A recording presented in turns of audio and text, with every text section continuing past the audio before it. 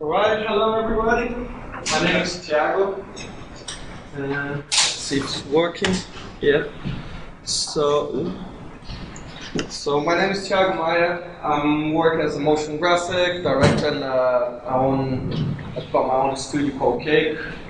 And uh, so basically I'm gonna see, I made a little plan, but I wanna know how much you guys know a little bit. I'm gonna show does anyone use After Effects?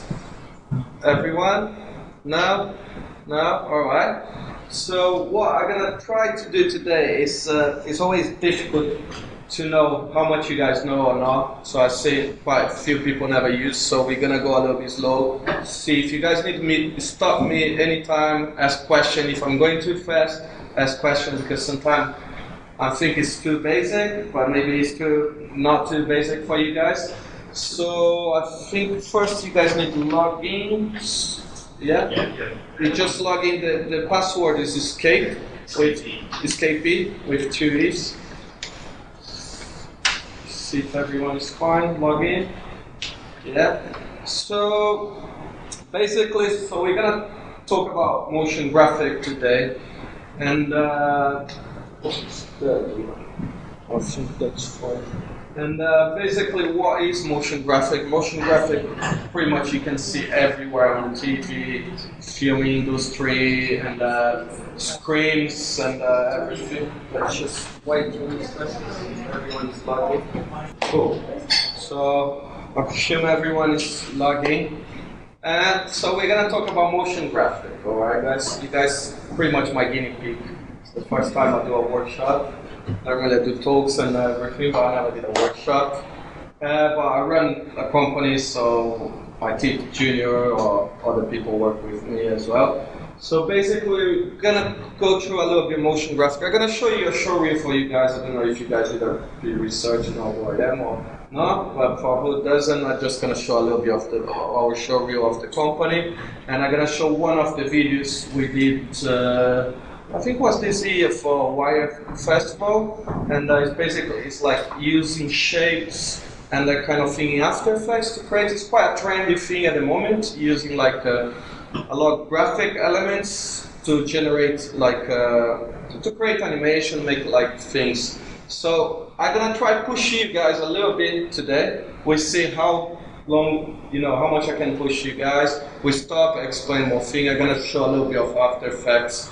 I'm gonna open Synfoo explain a little bit how it works for you guys, and I'm gonna try to show a few things I think is important in After Effects and both general for motion graphics and very few. After Effects, Synfoo Maya, or whatever software you use. Okay, so I just wanna what I wanna work with you guys will be three things keyframing After Effects, and the keyframes in general. You can use in After Effects, in 4D, or Maya, or any software.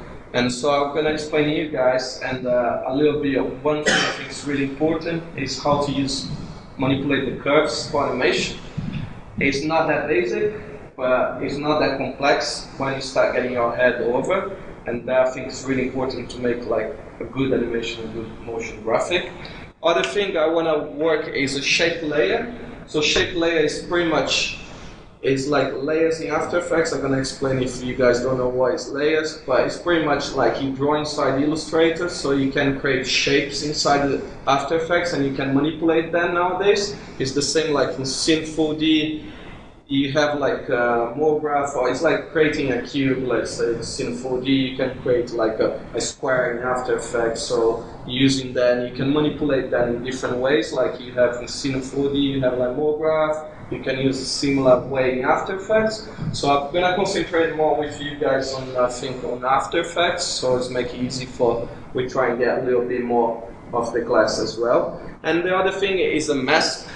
So mask is pretty much you can use for a lot of things. You can try draw things on the computer. It's pretty much it's like it's a path. You're creating curves, so you're creating shapes but it's not the same as a shape layer because a shape layer you, you can draw as well, but you can manipulate in different ways. And a mask you can use for VFX as when you need to take someone's out of the image, so you use a mask. or you can create like a circle and you can manipulate the shape to make like round and animate the mask through the animation as well.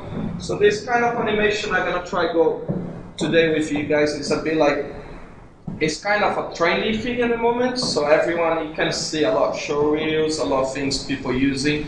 So what I prepare for you guys is a little is a little animation like this, pretty much simple, but it has all these fundamentals I'm talking to. Let's see if we can play real time. So it is the basic thing of a bounce ball, but we're gonna use a cube. And this is pretty much a shape layer, or we can use as a mask for that. We're gonna work with the curve in the animation to try, you know, make not going really you can see they have different time when animation, so they're easy in and out. So I'm gonna try explain to you guys that, so you can use that for anything. So you can exaggerate your animation, you can make your animation simple, make different weights for that, and uh, I'm gonna start explain. Let's open After Effects, so I can explain a little bit After Effects for who doesn't never saw After Effects before. So, if you guys want to ask any question anytime, just ask questions. Or cool. So basically, this is when you open After Effects for people. Don't worry about that. And uh, basically, what we have is After Effects is kind of similar as well. If someone work as an editor but never worked with After Effects, it's a similar software as well. Basically, you have the timeline on the bottom here so everything we animate here, here's the time and where we're gonna put keyframes, I'm gonna explain a little bit better. Here is our viewport, so whatever piece we see we're working, we're gonna see here. Here is pretty much is our project, and uh, so we have the project and the fact box. So the project is gonna be where we're gonna have everything. So like when we import layers or we import images, that kind of thing. They're going to be all there. And the effect box, when we create effects, we're going to use the effect on, uh, on this little animation just to change the colors. So it's a really basic, but to give a sense of how it works effects for you guys as well. And then here we have like the info. So you got like RGB. Let me open the project so you guys can see how it is. Uh, so let me just close this for now. So if you look here, you can see better how After Effects works. So we have the view, viewport view where we have the animation I built. Here we have, this is called composition. We're gonna create one, so every composition is like a, a project where you're gonna have all your timeline layers and everything. And you can of course work one composition inside the other to organize that. I'm to explain a little bit better. So this is just solid folder.